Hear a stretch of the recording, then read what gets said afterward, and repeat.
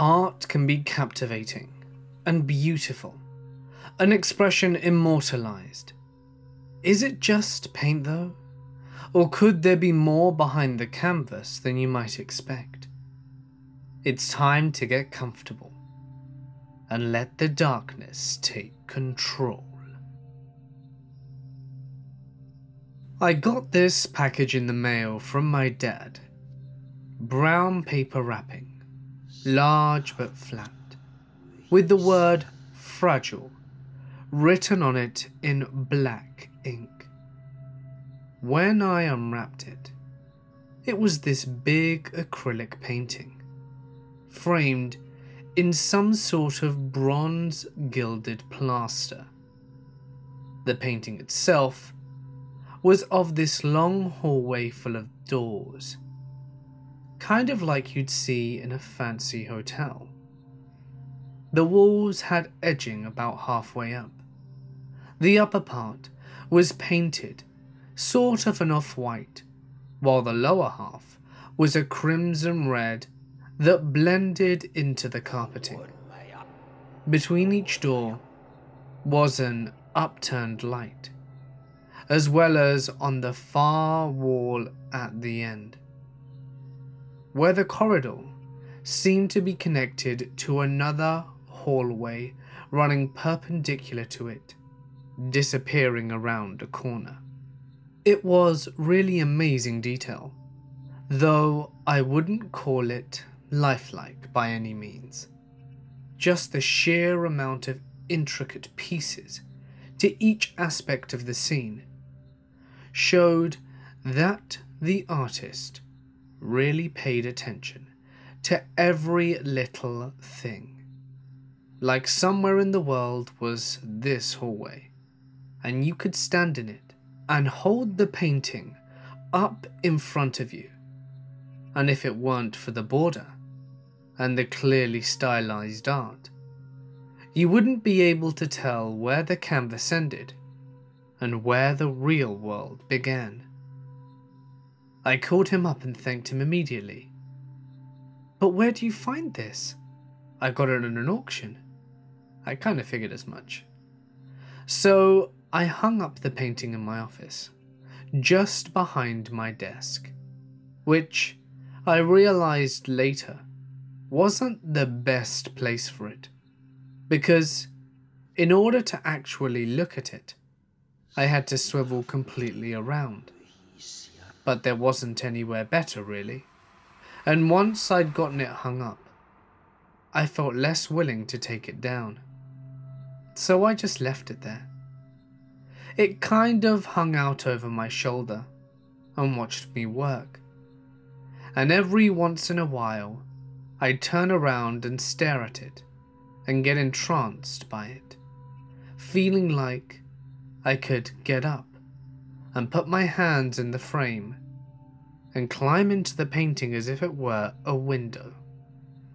Of course, I wouldn't be writing this if something weird didn't happen as a result of the painting. We had a couple of friends over, Mark and Sabina.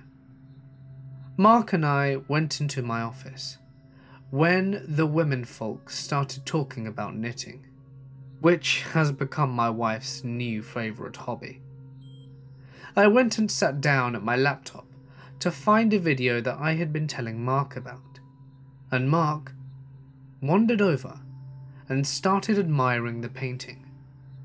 Where did you get that? My dad bought it for me in an auction and gave it to me. It's creepy. It's not that creepy. It's kind of, I don't know, hypnotic? Yeah.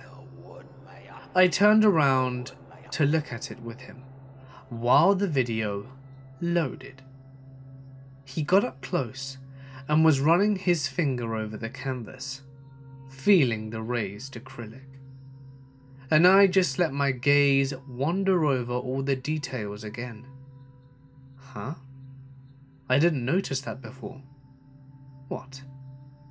At the end of the hall, there was some sort of light coming from around the corner, and it's casting a shadow on the floor. I got up and looked closer because I really hadn't spent a lot of time studying the far end of the hallway. There was definitely something yellow and some darker colours, making what looked like the shadow of a person coming from around the corner. I even reached out and touched it to make sure it wasn't some trick of the light in the study, making it just look like there was this shadow in the painting. But I felt the paint, and sure enough, it was there actually in the painting. See what I mean? Mark said. Creepy. I genuinely felt weirded out by it. It was one of those moments when you start thinking, why didn't I notice this earlier? Was it there to notice? A couple of days passed. I was working on a project in my study and it was round about 9:30 p.m. at night. And I just couldn't focus. So I spun around in my chair to look at the painting. And I felt this sudden vertigo effect. Like the ground wasn't there. And I had to grab my chair to keep me from tumbling into emptiness. You wouldn't have noticed it if you hadn't looked at the painting a hundred times, like I had. The hallway was long, with exactly six doors. I remember, because I counted them on the first day. Three on the left, three on the right, each with a little shiny metal doorknob. Only now, there were seven doors. Three on the left, and four on the right. It didn't make sense. Everything looked proportionally exactly the same, and the far end of the corridor was just as far. And yet, there was a fourth door in the right side of the hallway, with its own little metal doorknob. I don't even know which door was the fourth door, and how well it blended in. I just know that there were four doors, where once there were three. What the hell is going on? I turned away in my chair and back to check several times to make sure that my eyes were not playing tricks on me. But the number of doors remained constant. I called my dad again and I asked him, Is this a trick painting you sent me? What do you mean? I mean, it keeps changing. I can see it changing. Not as far as I know. It was just one in a bunch I picked up all at the same auction. After I got off the phone, I took the painting down and checked the back for some sort of mechanical or digital hocus pocus. But it was all soft canvas so I left it on the floor behind my office chair, with the painting facing the wall, because the thought of it was thoroughly freaking me out. The next day, I pulled my wife into my office and held the painting up so that she could see it, because she hadn't had a chance to before. How many doors are there? I asked. She looked over it for a moment. Seven. When I first got this, there were six. She just looked at me as if I were being a goofball. Okay, so which one wasn't there before? I have no idea. You don't know which door magically appeared? And she laughed and gave me a kiss and went back into the other room. It gets worse. The next time I chatted with Mark, I told him about the extra door in the painting. Are you sure there weren't seven doors to begin with? Well, I would swear I counted six. Well, if another one shows up, at least Melissa counted seven. And can confirm it then. You know what you should do? You should take a photo of the painting so that you could prove if anything else changes. What a great idea. So I got my phone out and took a photo of the painting. Two days went by, nothing. On the third day, I walked into my office and there was a man staring at me. Well, I mean, it wasn't. I can't say that it was a man or woman. Hell, I can't say that it was human. There was a shape at the end of the hallway in my painting. It was oddly lacking in the detail that the rest of the painting had. Like someone had hurriedly painted it on. I even ran my hand over it to make sure that it wasn't fresh, that someone hadn't actually come in and painted over my painting to drive me crazy. It was really there. And the look of it scared me more than anything else. Changing painting included. I wish I could do it the justice with words, but the best I can describe it is that it was human ish, with legs and arms, but it seemed squat or hunched and lopsided, like someone had slapped a blurry Quasimodo on an otherwise beautiful painting. You couldn't see the details in its face, but you could see shading on it. Definitely really warped features. I was almost glad that there wasn't more detail to it, except that it just left enough to the imagination to give one nightmares. But I had proof. Here was the proof that the painting was changed. So I brought up the file on my laptop to show my wife for comparison. Only when I did, the figure was in the photo I took too. At no point did I start questioning my sanity about all this. Something unnatural and terrifying was going on. So I took the painting out of the house and set it on the curb where we put our trash for pickup. I was done with that painting. Or so I thought. The next evening, when I got in home from work, it was gone from the curb. I figured someone had seen it and taken it home. And I waved my hand and said, Good.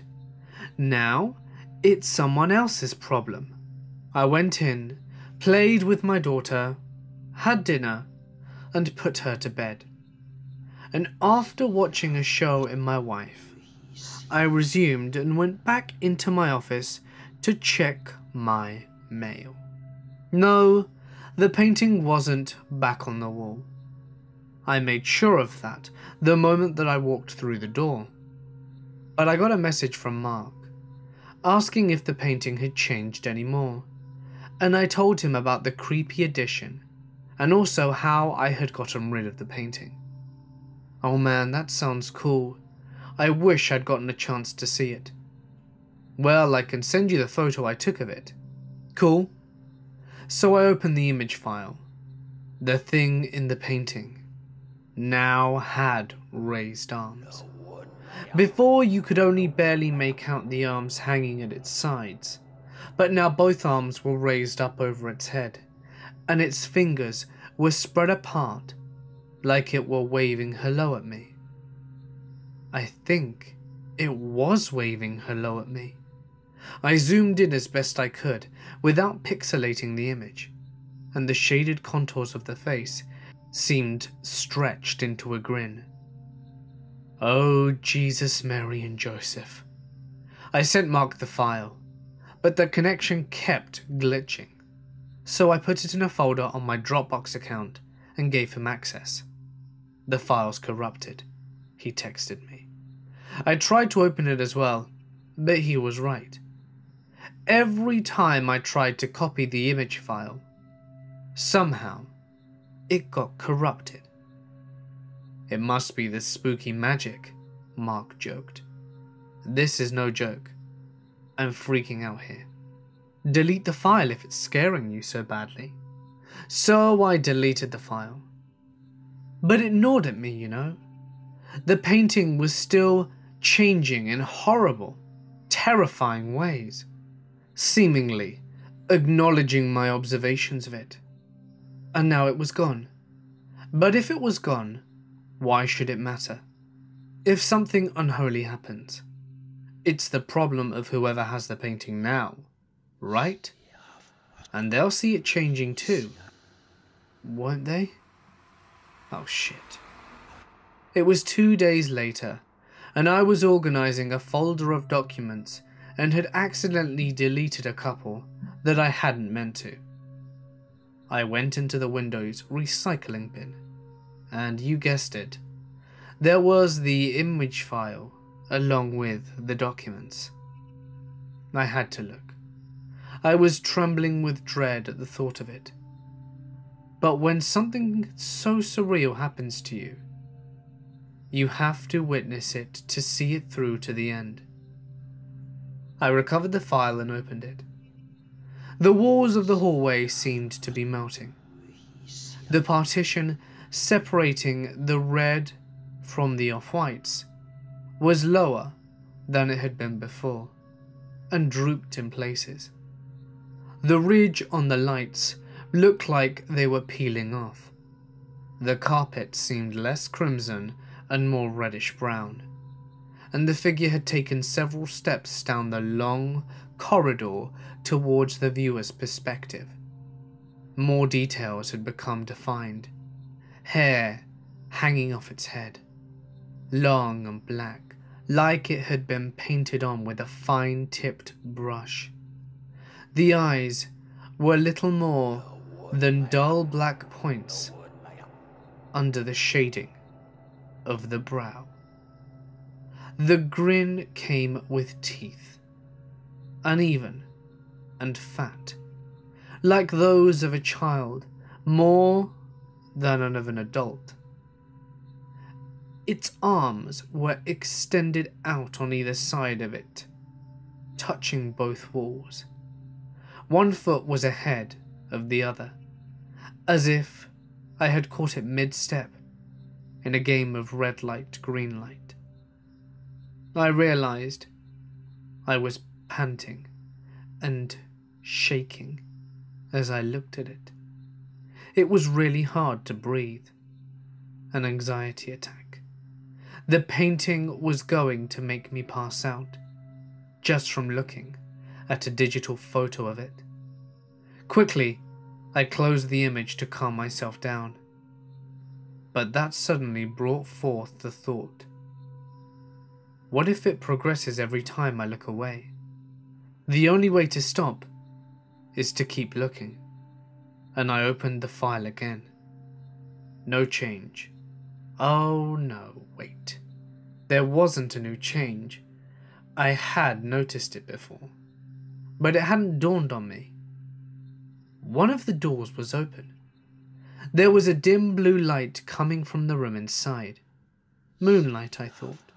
And just outside the threshold of the door, there was an object lying on the floor.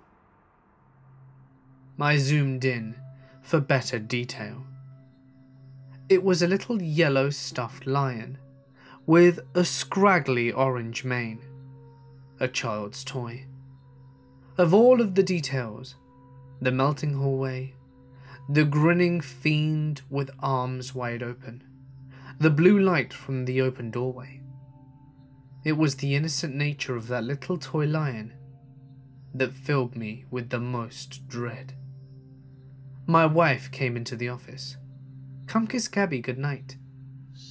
I went into her darkened room, where she was wrapped up in the blankets in her bed, hugging a half dozen stuffed animals, and looking cute as could be. My little darling, I loved her so much.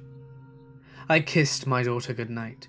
She kissed me back, and hugged her little pillow pet with the built-in nightlight. It glowed through a variety of colours. I love you, baby, I told her. Can you get my Simba? I looked around. Where did you leave it? Over there. She pointed to the closet. The door was open, and her toy lay on the floor just inside. Simba, her little yellow stuffed lion with the scraggly orange mane. Seeing it lying there, just past the threshold of the closet door, while the dim glow of my daughter's nightlight faded from red to purple to blue, I felt my heart rise up in my chest. The closet was just a closet. I could see it was just a closet. There were clothes on hangers, and bags with toys and blocks in them. They were right there.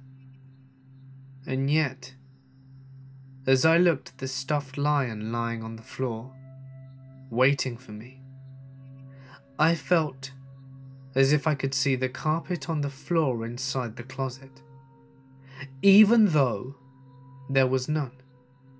Carpeting not in my vision, but in my imagination. And maybe, if I went in and shut the door, I would find that the walls beyond those clothes had a wooden partition, red below, off-white above. And maybe there was something hunched and terrible, shambling its way towards us even as I stood there staring at the toy. I walked, briskly, trying not to look, half as frightened as I was, snatched up Simba, and shut the closet door. My breathing was heavy, like I'd just run a mile, and I struggled to avoid gasping for breath as I tried to calm myself down. Hey, did that poster fall down? I asked nobody in particular, then pretended I was just trying to adjust a cat poster that had been on the floor by her dresser for months, and shoved the heavy dresser over it so that it partially blocked the closet door. Here's Simba, sweetie. I handed the line to Gabby, gave her a quick hug and a kiss, and wished her good night before rushing back to my office. The painting had changed, as I knew it would. The open door was closed, the toy gone from the floor. The hallway was dimly lit with yellow light from the melting lights again. But the thing, that not quite human fiend, was standing right outside the now shut door. Its body turned to face it, with both hands pressed up against the door itself, like it was running its hands down it, caressing it and it had its head turned towards me. Still grinning, that awful, frightening grin full of gnashed, crooked teeth. Oh God, how close had it been? No, it's just a closet. The hallway's not there. It's not real. None of this is real. I've put up signs around the neighborhood, locked the doors, asked everyone I know and many that I don't, if they know who took the painting. I need to find it. I need to get it back. I want to tear it, shred it in my hands, throw it in a fire, and watch it burn to ashes. Jesus, God in heaven, I hope it didn't end up in some landfill. I've learnt the awful truth. All doors lead to the hallway. So, what are we doing here? We're, uh, appreciating art. How do you appreciate art?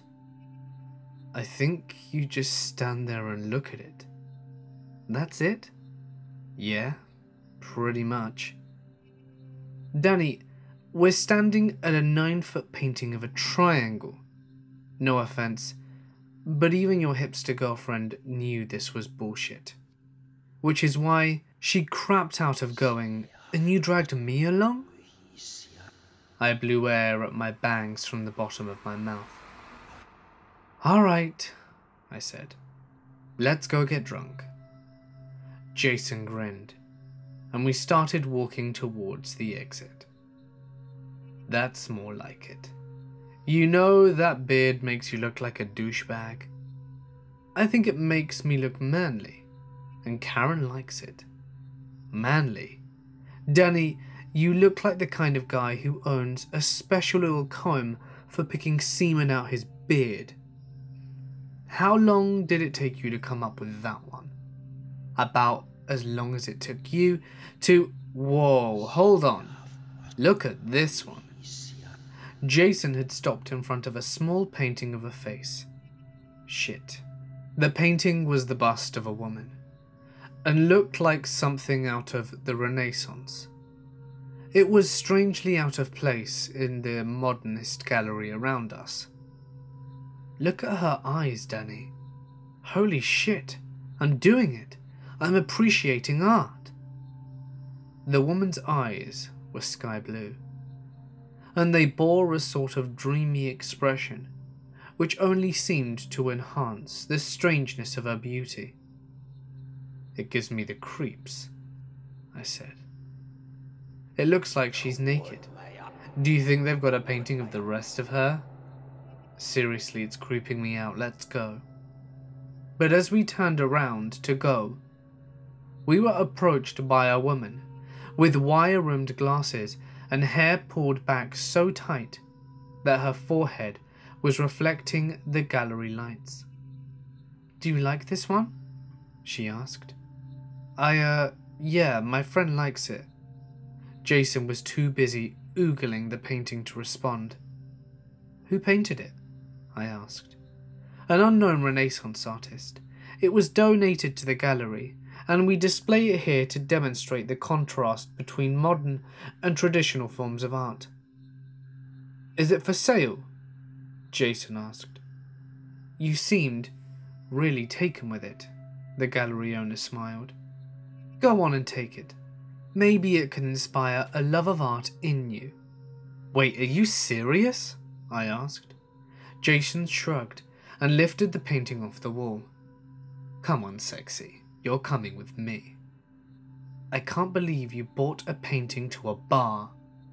It's called peacocking, Danny. Whatting? It's when you bring something flashy to a bar to attract the attention of women. Sounds like a good idea, you want the girls to think you're some kind of psycho, right? Shit, that could work. Maybe I can hook up with one of those girls that write letters to serial killers in prison. Besides, I wanted to look at it some more. I've always had a thing for green eyes. Are you drunk already? She's got blue eyes, dipshit. Dude, get your vision checked. This must be why you're such a shitty driver. You think all the traffic lights are blue. I was just about to tell Jason what a dumbass he was when a girl walked up to us and interrupted. Cool painting, she said. It's mine. Jason puffed out his chest, perhaps taking the word peacocking a little too literally. I really like the expression in her eyes, the girl went on. So vulnerable. It's like she's really baring her soul. Yeah, Jason eagerly agreed. But there's something more, like a fierceness. It's beautiful. The girl looked at the painting quizzically. I don't see it, she said. Jason and the girl went on talking while I drained my whiskey and started texting Karen that Jason had met a girl and was ignoring me again. He was always like this around pretty girls. He said he fell in love at least twice a day. Eventually, they went off to her apartment, and I went home to the dorm. I woke up on the couch the next morning with a splitting headache. Jason must have gotten home last night, sometime after I passed out, because his coat was on the rack. As I became more aware of my surroundings, I noticed a powerful burning smell. I jumped up and saw smoke billowing out the oven. Jason, you idiot! I grumbled. This wasn't the first time he'd stuck a pizza in the oven and then passed out before it was done. I switched off the oven and went to pound Jason's door. Hey, wake up, numbnuts. You nearly burnt us alive again last night. No answer. What a lazy prick. I turned the knob and saw that he was still in bed, but obviously awake. Hey, idiot, I said. Get up and clean the. But the words died in my throat. As I got closer, I saw the black pool of blood that had spilled from his mouth. His eyes were wide open, and still. Shit. I ran over and shook him, but he was already ice cold. When the ambulance got there, they took him away in a bag. They asked me if I knew what happened, but I couldn't answer. I just kept going over the same thing in my mind. Jason had brown eyes. I was sure of it. But when I found him lying there in a pool of his own blood, his eyes had been green. The next week was a blur for me. I numbly floated through the days. People's consolation and pitying looks were just mundane platitudes that could not reach me. The university held a memorial service for Jason. They printed out a big version of the picture from his student ID and placed it next to the arts building so people could come by and pay their respects. I went the long way around the building to avoid seeing it. I didn't want to be reminded of what had happened, but I couldn't hide from it forever. After class on Friday, there was an urgent knock at my door, and when I opened it, Karen was standing there looking upset. I tried calling you, she said. Are you okay? I shrugged. I'm surviving, I guess. Have you. Karen seemed nervous about something. Been by the arts building? Not recently, why? I, uh. I don't want to upset you, but I figured it had best come from me. What are you talking about? Karen pulled up a picture on her phone and handed it to me. What the hell? It was Jason's picture by the arts building, but someone had gorged out the eyes and spray painted a big red X over his face. Who the hell would do something like this? I asked. I don't know, but the university police are looking into it. A thought had been nagging at the back of my mind for days now. I grabbed my keys off the hook and marched out to the parking lot. Where are you going? I heard Karen calling after me. I'm going to go back to that bloody art gallery. I'm not sure what I would expect to find. An answer, I guess. Some sort of closure.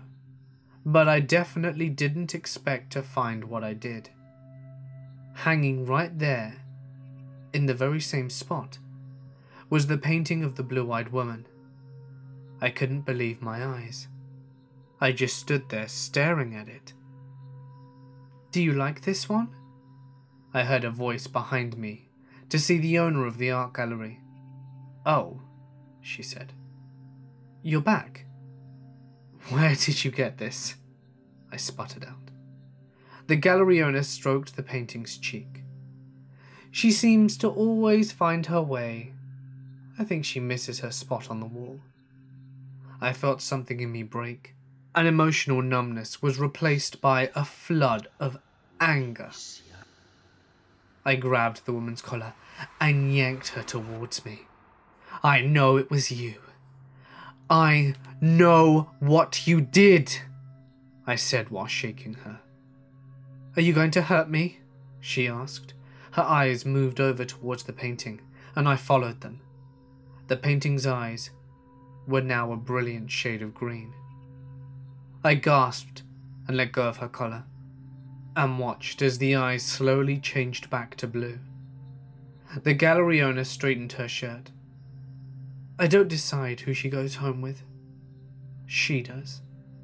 I started to back away slowly and the gallery owner watched me. I could have sworn the painting was watching me too as I turned around and ran. When I got home, Karen was waiting for me, worry written all over her face. Danny, what's going on? I don't know. But I know who killed Jason. You do? It was the gallery owner, I said. The place we were in last week? The gallery owner? Why would the gallery owner kill Jason? Because she's crazy. She's some kind of witch, Karen. Karen frowned. Are you feeling okay? Jason died in bed, Danny. Why? Do you think he was murdered? I just. You didn't see it. The painting. I trailed off. Even I could hear how crazy the words sounded as they would come out of my mouth. I knew what I'd seen, but I knew no one else would believe me. Nothing. Sorry, I'm just a little upset. Never mind. Let's relax for a while. Do you want to watch a movie? I agreed more for Karen's sake than my own. After all, I was sure I'd just frightened her. We set up the movie, and Karen went off into the bathroom like she always did at the start of movies.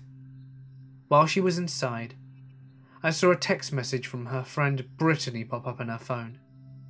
Karen didn't mind when I read her messages, so I grabbed the phone and swiped it open. All the messages said was, Have you told him about Jason yet? I heard the toilet flush and the faucet go on, and then Karen walked back in and plopped right down next to me. What is this? I held the phone up to her face. It's nothing, Danny. Why don't we talk about it when you're feeling better? No, something's going on and I want to know what the hell it is. Karen sighed. Alright.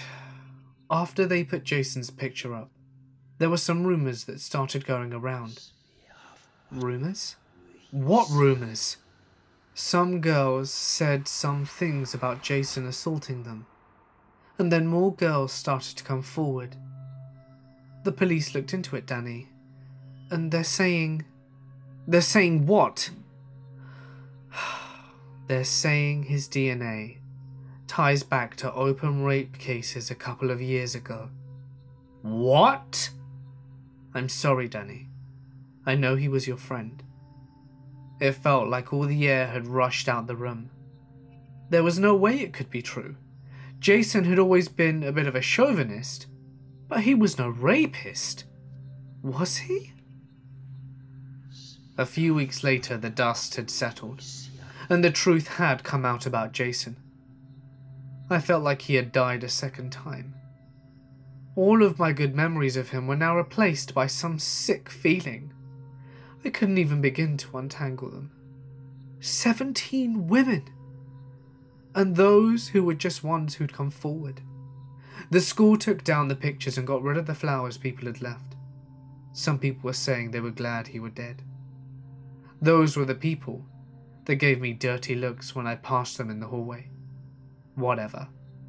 It didn't matter. I didn't know what had really happened with the painting, but I decided to just let sleeping dogs lie. Thinking about it hurt. Anyway, I eventually went back to the gallery owner to apologize for my outbursts. She smiled and told me I had a good heart. As I was leaving, I could hear the faint sounds of her talking to someone. You seem to really like it. Why don't you take it home with you?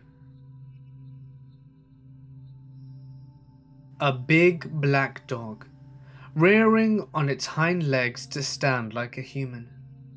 One paw was conspirationally placed in front of its lips, as though swearing the viewer to uphold the shared secret. I hadn't given the painting a second thought, except maybe to remind myself not to bump into it while stumbling down the hall at night to use the bathroom. The painting had never been there growing up, but there had been a lot of changes around my parents' house since I moved out to college. I had to throw a sleeping bag on the floor of my old room to visit now, since they had converted the space into a home gym. All the fantasy novels that I used to read were in boxes in the garage, and any games I hadn't brought with me were tossed. It was understandable, I guess. I've moved on with my life, and it would be selfish not to expect them to do the same. It just felt weird sleeping in that room, with the ghosts of my former life replaced by the looming silhouettes of exercise machines. This is where I'd become who I am, filling journals with rambling thoughts, laying awake, dreaming of my first crush, studying and stressing and fighting with private demons that my life once revolved around. That's probably why I couldn't sleep. I felt like I'm too young to have that many memories. But here they all came rushing back. I lay awake wondering if that kid was still alive in me somewhere, or whether he was already dead and replaced by a new person, a stranger that I hadn't even properly met. I used to imagine becoming someone that no one could ever forget. But I'm already in college, and still a nobody. Was I the person I dreamed about back then? Or had I betrayed myself somewhere along the way? After tossing and turning on the floor for a few hours, I got up to use the bathroom. I had to stop and stare as I passed the painting of the dog. Savage strokes of thick paint made the fur look like it was bristling. Bared, teeth flashed in the moonlight, behind its paw. And the playful personification of its stance now seemed like a sardonic mockery of human achievements. The longer I stared, the more sure I was this wasn't the same painting I had seen in the day. I passed it again the next morning, on my way to breakfast, but I couldn't comprehend it. What I had found so unsettling during the night, its fur wasn't bristling, it was just fluffy. And those teeth, I could still see them, but it was obviously a smile. I asked my parents about it, but they both just gave me confused looks and little shrugs. Somehow, they both figured the other one had brought it. They'd been doing a lot of home improvement projects, and I guess neither one of them had mentioned it to each other.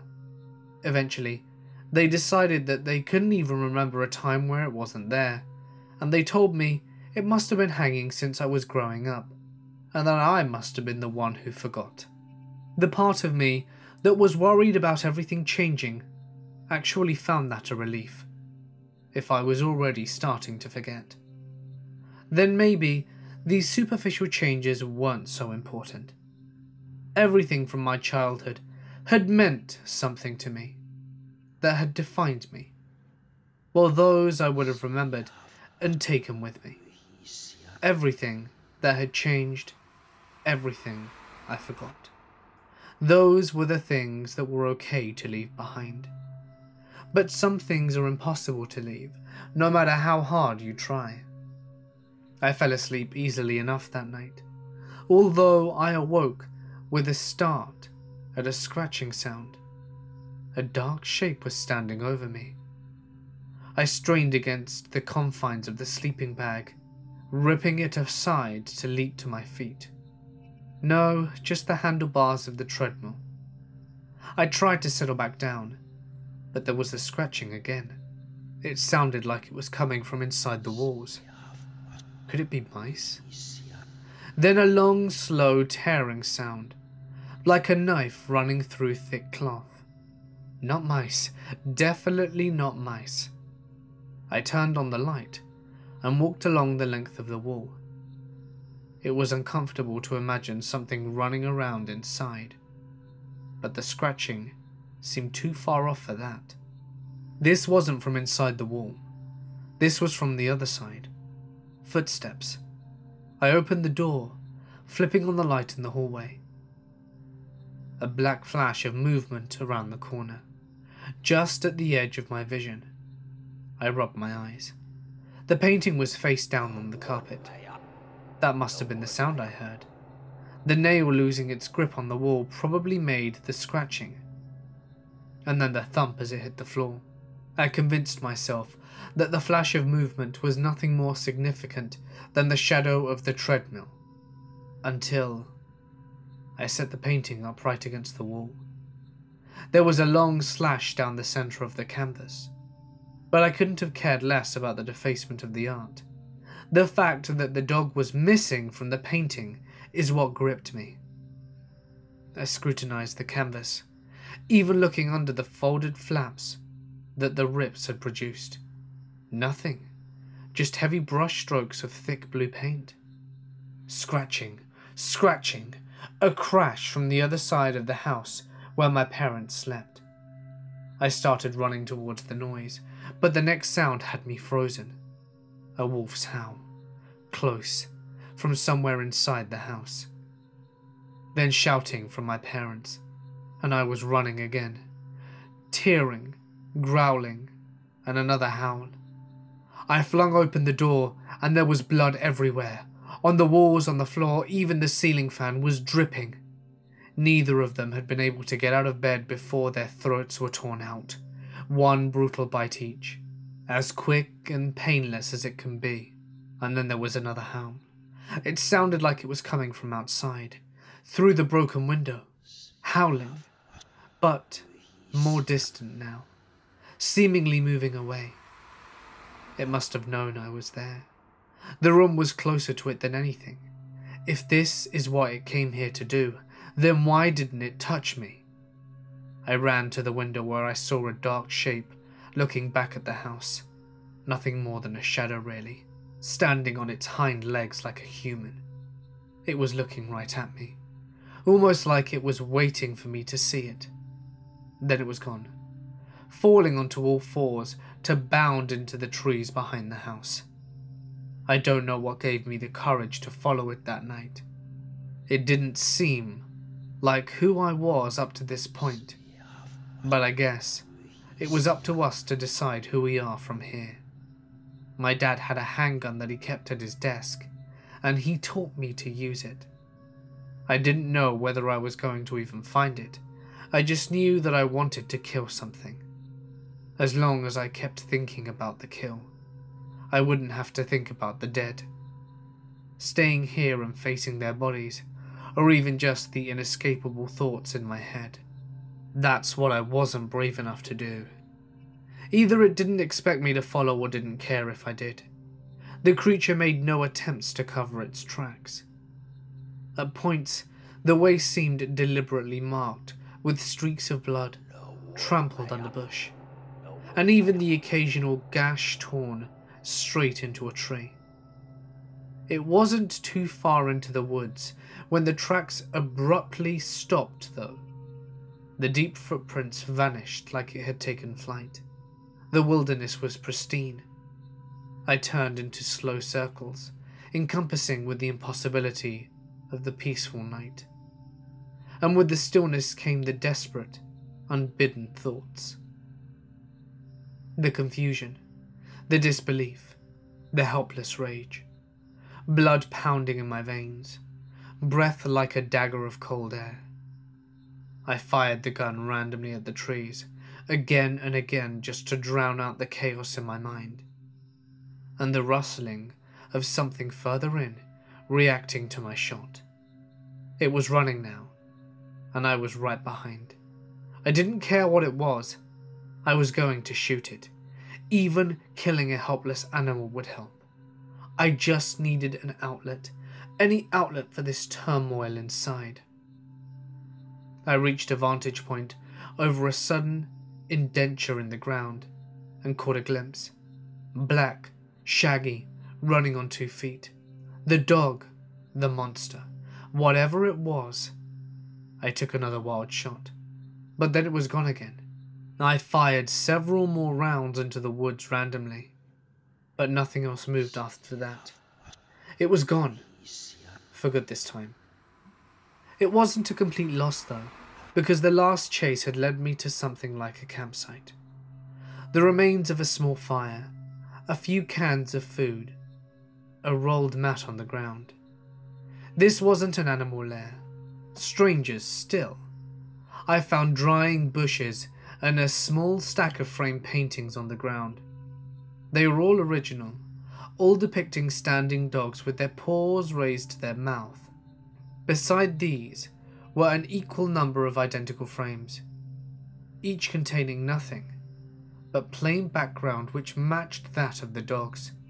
There was only one conclusion I was able to draw from this. There's a killer who is deliberately trying to trick people. First comes the dog painting, either given or sold or installed. I don't know. Then he sneaks in to replace the painting with the torn background, looking as if the dog has disappeared.